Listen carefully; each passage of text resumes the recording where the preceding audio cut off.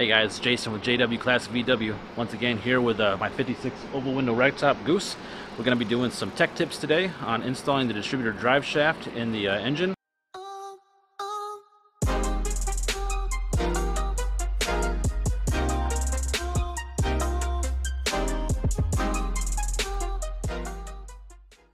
We are here uh, today working on the engine and doing some distributor drive gear stuff.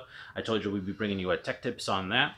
So I'm going to show you how to install that distributor drive shaft with the case cracked, not closed today, but uh, with the case open. Also, I'm going to probably work on getting this uh, this uh, single port engine back together again so that I can have a running engine before I get the uh, big block build. But we're also going to have some updates on that big block build, the 2165, and where I am and some of the parts that are on their way. Alright guys, stay tuned. Alright guys, tech tips today we're going to go over how to install the distributor drive shaft. Some people have been asking about, uh, you know, are there any tricks to it? Uh, can you help me out with the install? And uh, we're going to go over some of the, the, the few things that I do whenever I'm installing my distributor drive gear to, to help out with that. I don't know how many times I've gotten this in here and I've learned the lesson the hard way uh, about the 180 out and having your uh, distributor drive in the right way. So as you can see, I've already got the case opened up and uh, I've cleaned most of it out too. If you were uh, watched one of my other videos, I went over know, a little scrubbing inside the, uh, the kitchen sink. I want to have the uh, small engine in the car while we're uh, working on the big block build because I'm tired of Goose sitting in here, man. I want to be able to take her out for a ride, and uh, I'm missing my my weekly rides. I, I usually drive her at least a couple times a week. The weather's kind of crappy today in Houston. It's a little humid and and muggy. The rodeo started today, so there's a lot of people going to the rodeo. But um, we're going to go ahead and uh, do some work on the engine. Okay. Now, one of the main tricks that I want you guys to know about, or one of the main things to do whenever you're doing your distributor drive install, is you'll notice I have my distributor in place, right?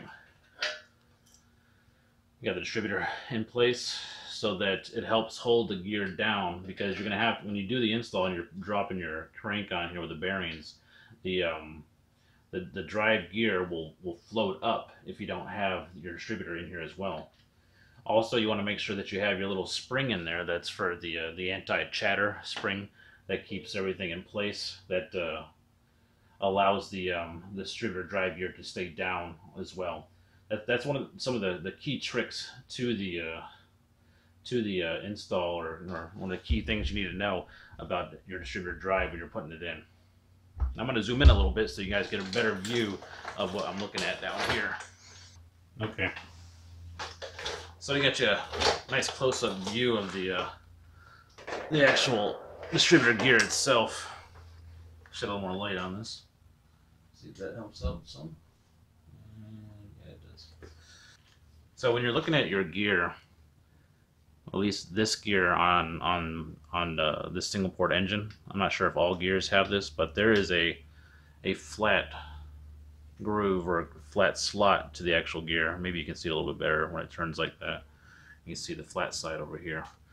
The, well, the one of the tricks to this, and one of the things I'm sure that Volkswagen designed, is that that flat portion needs to be facing towards you as you're installing. So the flat portion should be like like uh, flat right across this side or in line with the, the case half itself.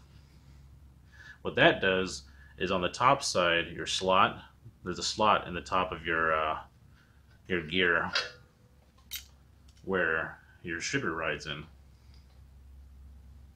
Let's take a look at that slot for a second.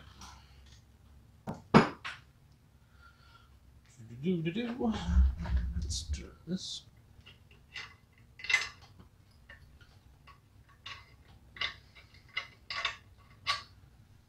So when you're looking at your engine from the top,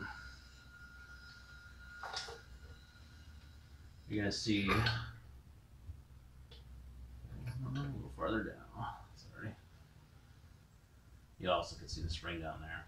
But you can see that that slot is lined up straight across the front of your engine. And it actually kind of lines up uh, kind of lines up with this little crack in my uh, the lock for my distributor drive or lock for the distributor itself. And see, that's at top dead center on number one. That's where you want that slot to be. You want that slot to be straight across.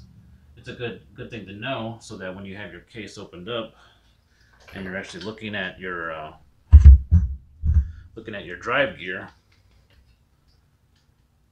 that this flat portion gives you a good reference point. That as long as this is flat across the front, you know your slot is straight across the case. So that makes a really good reference point to use. So what I recommend is that once you got your drive gear down in and it's straight across, that you take your distributor, distributor, and you put it, install it right down where it's supposed to be. So straight across in the flat here, and then your actual uh, your actual uh, rotor will be pointing towards the uh, the timing crack in your case. And this is uh, on the case of your distributor. And this is the uh, next part that I'm going to tell you about. You want to go ahead and push it down and lock down your distributor so that your timing mark is lined up perfectly with the uh, with this mark right here. That'll also give you an additional reference point to look at once you drop your your crank in.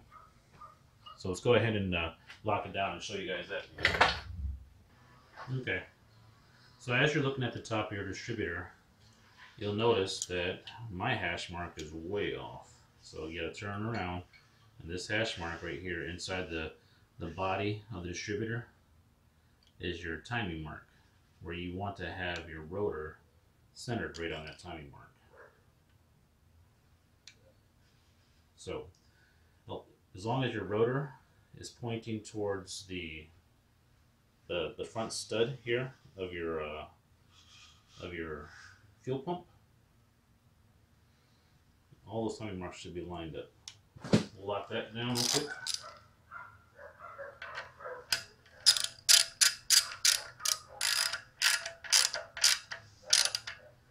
Now you know as long as you have your rotor at that timing mark, once you have your crank in place, that uh, your timing is good. This is where you need to have your distributor, rotor, and the uh, housing all lined up with the slot before you go to set your crank into position. And when you set your crank into position, you want to have the number one rod pointing up as if as in uh, top dead center position. And what I use is I use a rag here to help me set the crank down in place.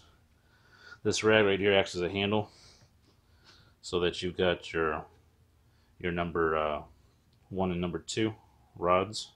Actually, wait a second, that's not right. Yeah, it is. Your number one and number two rods are going to be pointing up. So when you go to drop this in, you need to make sure that your orientation on your crank is right. This is how you'll drop it in with your number two and your number one rod pointing up. The uh, Also, you want to look for reference point is on the front of your crank where your woodruff key is going to go. This should be pointing down, down towards the ground as you're dropping in the crank. So that's something you want to pay attention to as well. This is going to be a little more difficult once you actually have the uh, the dowel pins in place and you're uh, you're setting your bearings as well. But I've got the dowel pins out right now just for uh, just for demonstration purposes to show you how the handle helps out, or the little handle that I put on here for the rods helps out with the laying the crank in. All right, so I'm about to drop the crank down on here, and as you can see inside of my uh, my main bearing area, I've got the dowel pins out to help out with just setting it in for demonstration. Like I was telling you, the way that it sits, you need to have the whole distributor drive gear and spring, the whole assembly in position along with its little washers down here so that it doesn't float forward when you're landing when you're landing your crank inside of here. So no dowel pins. And this is just to help you out with test fit to kind of get you an idea how it's going to feel. Alright. So, I've got my handle. And I've got my rods. One, one and two all the way up. Well, one's all the way up, two is in a down position. But you can see, like, landing just like this. It's, uh, without the dowel pins, it's, it's really easy. It's not, not that difficult at all. Now, once again, you want to check your reference point on the front, that your Woodruff key is pointing down, which it is. And we are in position. So like right now, if I go to turn these rods, pull the handle out real quick.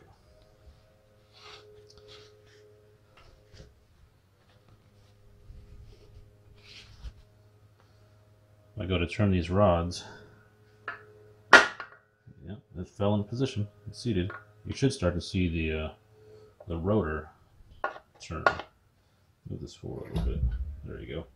Now you'll be able to see the ro rotor turn as I'm rotating the uh, the assembly. See, it's moving. So now you know that you've got your your uh, crank distributor drive gear all the way down in position, and your rod is at the top position here, number one position. Now this is where people make the mistake. This is where, or even I do it sometimes too, where you might be in the wrong position on your crank when it comes to the position of the camshaft. So you're gonna have to go ahead and put your camshaft in too to actually see where it needs to be because you might be on on that 180 out position to where your uh, your uh, number one cylinder is actually not firing. It's not on, it's not on the compression stroke. So this is where we'll go ahead and drop the cam in position and go ahead and see where we are. You can see that we're at number one position here because your rotor is pointing towards the stud for the fuel pump. Okay, so now we're going to go ahead and move these rods forward. I'm going to go ahead and take a look at the timing marks on the, uh, the crank to see where the, the uh, cam needs to go. So you can see the timing marks right here on the crank. We're going to have to rotate it around enough to be able to get the cam to land on those timing marks with the actual cam timing mark. So we just got to rotate a little bit, not much. So right about there, right about there is where we want the uh, timing mark to be.